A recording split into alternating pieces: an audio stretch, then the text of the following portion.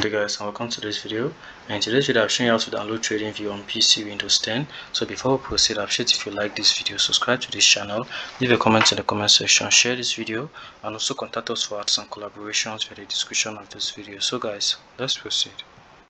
So now first you need to um, head over to your TradingView so guys I want to make this known to you guys regarding this tutorial.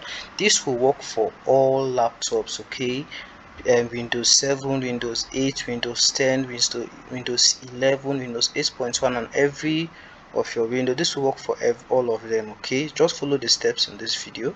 So now come over to your trading view.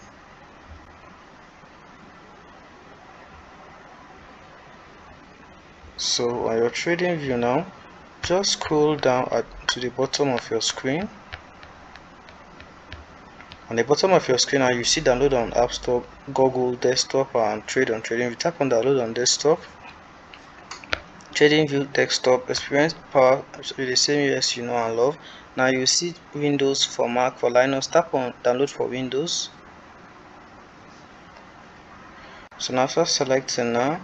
You'll see um, that this is currently installing now. Over here now trading view now is installing.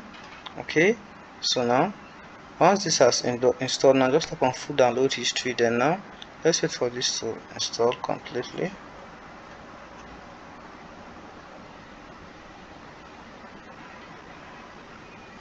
So after this has installed now just tap on it to proceed to install it. Follow the prompt okay within some seconds this will be installed in your laptop successfully okay? So guys that's it for this video. Please don't forget to like subscribe leave a comment in the comment section share this video and also contact us for some collaborations for the description of this video. So guys thanks for watching and have a lovely day. Stay safe and i love you all. Peace